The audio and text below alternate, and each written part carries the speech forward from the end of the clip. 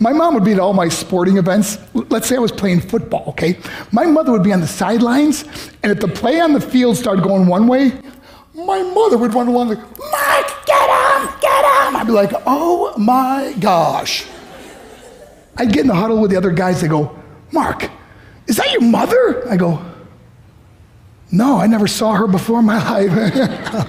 See, the greatest gift my mother ever gave me, she believed in me. I have overdosed on drugs on three occasions where I should have been dead. But I believe I was kept here for a reason.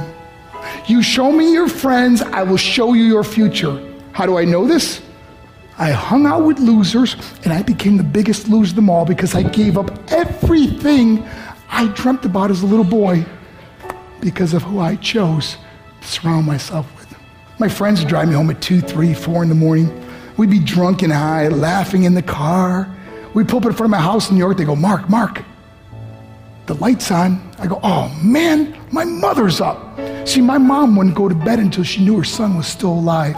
I'd walk in, she'd say, Hi, Mark, how was your night? I go, It was good, Mom. I'm just gonna go to bed. She goes, Can I can I talk to you for a minute? I go, Mom, I'm tired. I'm just gonna go to bed. She goes, Mark, I haven't seen you all day and all night. Can I please talk to you? I said, Man, just leave me alone. You bug me. I'd slam my bedroom door on the one person who believed in me.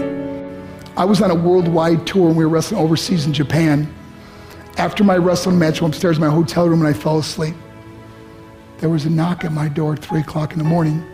I got out of bed and I looked through the safety window and I could see it was a Japanese promoter. So I opened the door and he said, Mark, you need to call home. There's been an emergency. I went and got on the hotel room phone. I called back to the United States. I said, hey, what's going on? They said, Mark, I don't know how to tell you this. I said, just tell me what happened.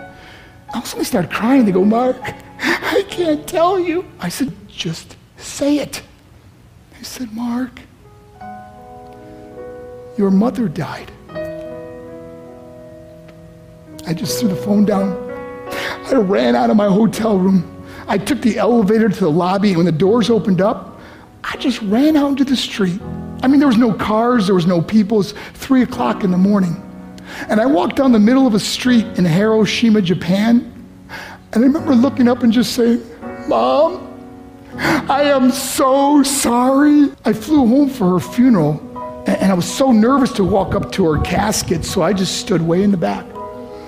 And I kept looking from a distance. I kept thinking to myself, Mom, please wake up. Please get up. And then I finally got the nerve to walk up to her and as I got closer, I could see my mom for the first time. I mean, she was so beautiful.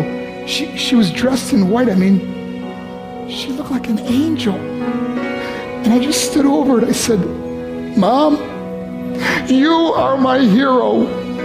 Everything I am, everything I hope to be was because of you.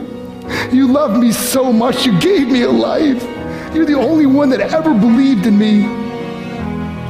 How did I repay her? By getting drunk, by getting high, by getting stupid, by hanging out with losers? For what? All she ever wanted to do was talk to me. I wish I could talk to you now, Mom. I wish you could see what I'm doing. Why couldn't I have been a better son? We are defined by our choices. But if you surround yourself with people involved in drugs and alcohol and pills, it's a dead end. I'm not here to preach to you. I'm here to tell you I lived that life. It leads to broken hearts, broken relationships, broken dreams, and death. For what? To get high? If you have a mother or a father, when you go home, tell them how much you love them. See, my whole life was about being rich and famous. I had to be a millionaire. I had to win the race. I had to win the race the expense of my marriage, my family, my friends. For what?